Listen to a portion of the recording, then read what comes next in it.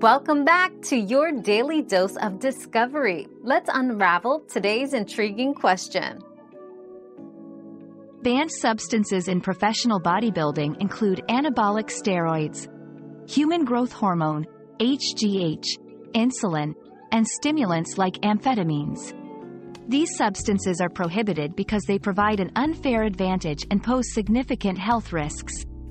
Natural bodybuilding competitions often have stricter policies, with extensive lists of banned substances, including certain dietary supplements.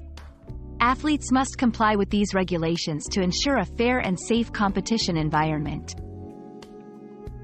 Your daily dose of discovery ends here, but the journey of learning never stops. Subscribe and join us again for more answers tomorrow.